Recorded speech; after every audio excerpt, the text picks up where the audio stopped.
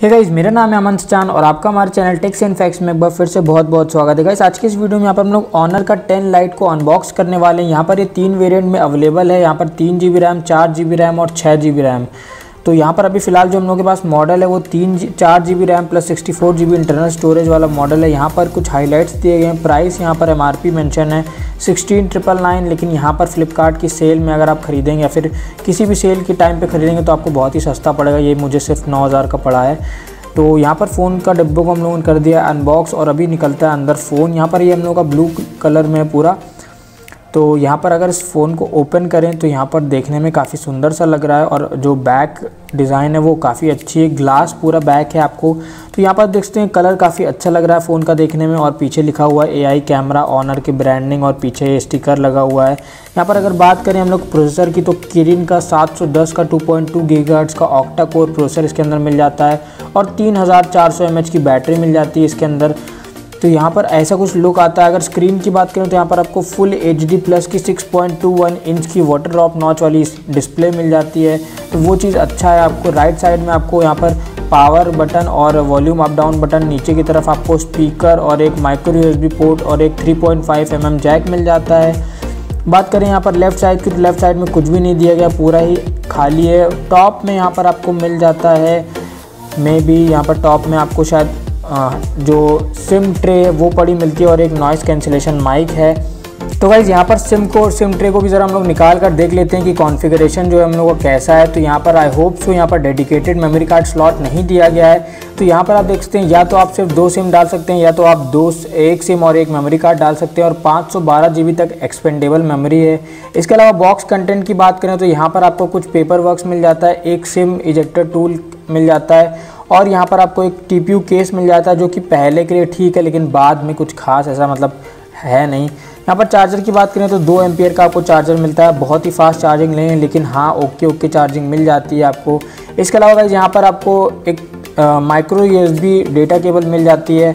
जो कि normal charging को सपोर्ट करती है, बहुत ही फास्ट चार्जिंग नहीं है। फ़िलहाल फ़ोन को हम लोगों ने बूट कर लिया और सभी चीज़ें हम लोग स्किप करते हैं। अभी आते हैं मेन स्क्रीन पे। तो फ़ोन के कलर्स जो हैं वो काफ़ी अच्छे लग रहे हैं देखने में। फुल एच प्लस की स्क्रीन है 6.21 इंच की। तो वो काफ़ी अच्छी लग रही है इन्हेंस्ड वर्जन लग रहा है मतलब बहुत ही सही लग रहा है। गेम खेलने में आसानी होगी। तो यहाँ पर ज़रा हम लोग अबाउट फ़ोन वाले सेक्शन में आते हैं। तो डिवाइस का नेम ऑनर टेन लाइट जो हम लोग का E M U I version पड़ा है, वो 9.0 पड़ा है तो वो चीज़ काफ़ी सही है। एंड्रॉयड पाए है आपका 9 वाला वर्जन तो वो भी आपका सही है। बाकी सारी चीज़ें वहीं सारी लिखी हुई हैं। एंड्रॉयड सिक्योरिटी लेवल पैच एक जनवरी 2019 वाला है। तो वो सब है। अभी ज़रा हम लोग बात कर लेते हैं कैमरे की। इसके बाद हम लोग बात करेंगे पबजी की। तो बैक में आपको 13 प्लस दो मेगापिक्सल का कैमरा मिलता है एफ़ 1.8 और एफ़ 2.4 एपर्चर के साथ। फ्रंट में आपको यहाँ पर फ्रंट कैमरे की हम लोग बाद में बात करेंगे। अभी ज़रा हम लोग बैक कैमरा अच्छे से देख लेते हैं। कुछ सैंपल शॉट्स मैं यहाँ पर लेता हूँ और देखता हूँ क्या क्या है। क्योंकि इसमें कई सारे नए मोड्स दिए गए हैं। जैसे कि हम लोग अगर यहाँ पर एक फ़ोटो क्लिक करें पहले तो यहाँ पर क्रोमा बूस्ट का भी एक ऑप्शन है। तो यहाँ पर हम लोग ज़रा इसको क्लिक करते हैं इस वाली इमेज को।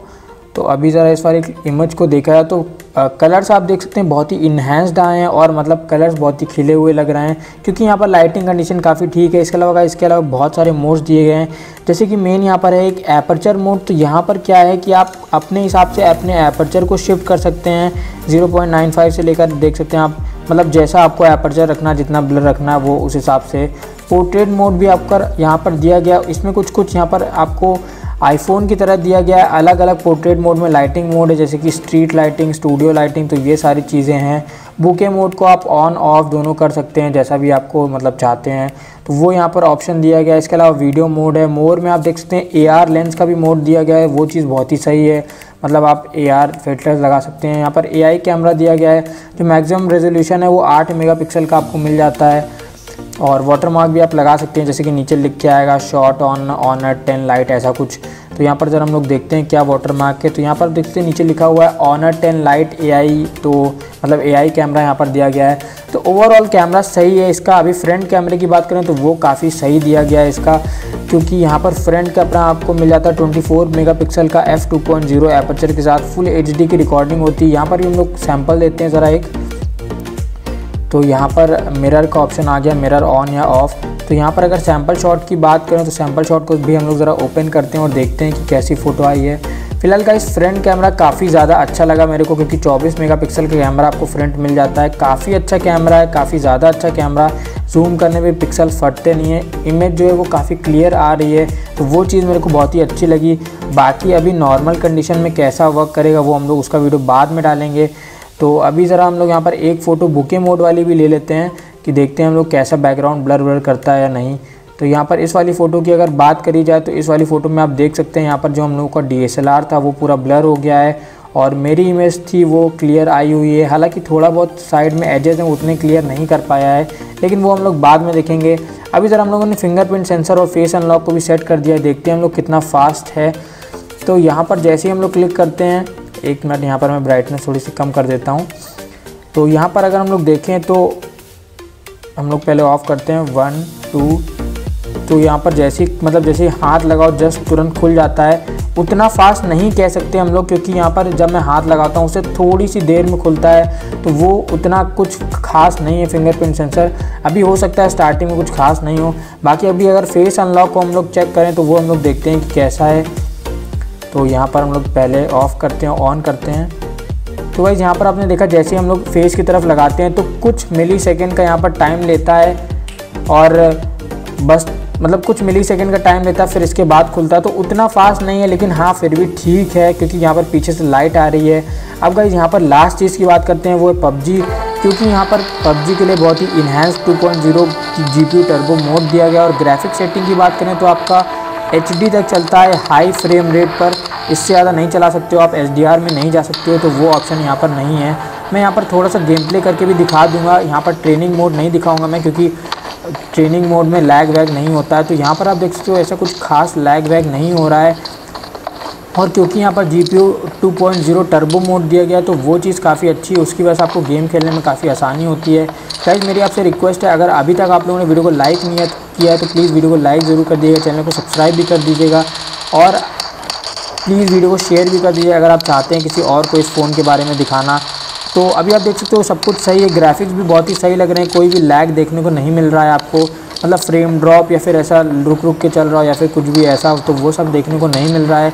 यहाँ पर हम लोग ज़रा बग्गी चला कर भी दिखाते हैं और थोड़ा स्पीड में ताकि उस पर हमको लोगों को समझ में आ जाएगा कि लैग हो रहा है या नहीं हो रहा फ्रेम ड्रॉप्स हो रहे हैं या नहीं हो रहे हैं। तो वो हम लोग यहाँ पर देख लेते हैं। तो फ़िलहाल अभी मेरे को ऐसी कोई भी प्रॉब्लम नहीं लग रही, कुछ भी ऐसा सब कुछ नॉर्मल नॉर्मली चल रहा है। तो यहाँ पर हम लोग ज़रा बग्गी का भी हम लोगों को सामने ही बग्गी हम लोगों की खड़ी है तो यहाँ पर हम लोग बग्गी भी चला रहे हैं। तो अभी आप देख सकते हैं कितना भी तेज़ चलाओ, ऐसे टर्न करो तो भी कोई फ्रेम ड्रॉप देखने को नहीं मिल रहा है। और हम लोग सडन थोड़ा सा टर्न भी लेंगे एकदम से ताकि समझ में आ जाए वहाँ पर एकदम से गेम को पूरा लोड कर पा रहा है या नहीं। क्योंकि यहाँ पर आपको चार जी की रैम मिलती है और sixty four G internal storage मिलती है। और जो हाई सिलिकॉन कायरिन का 712 का प्रोसेसर मिलता है। तो यहाँ पर ऐसा कोई खास लैग वैग देखने को नहीं मिल रहा है। अभी हम लोग इसका गेमिंग टेस्ट है, वो हम लोग पूरा बाद में करेंगे। अभी के लिए फ़िलहाल इतना ही रखते हैं। वीडियो काफ़ी लंबा हो गया ऑलरेडी तो मेरे हिसाब से आपको समझ में आ गया होगा। इससे रिलेटेड आपका कोई भी क्वेरी हो या कोई भी क्वेश्चन हो तो प्लीज़ कमेंट बॉक्स में ज़रूर पूछना मेरे से। मैं रिप्लाई करने की पूरी कोशिश करूँगा, कोई भी क्वेश्चन होगा आपका तो। और गाइज़ अगर अभी तक वीडियो को लाइक नहीं किया आपने तो वीडियो को लाइक कर दीजिएगा। अगर आप लोगों ने चैनल को सब्सक्राइब नहीं किया तो सब्सक्राइब करके बेल आइकन को दबा दीजिए, क्योंकि हम लोग ऐसे वीडियोज़ रेगुलरली अपलोड करते रहते हैं। तो गाइज़ मिलते हैं हम लोग अगले वीडियो पे और तब तक के लिए बाय बाय टाटा।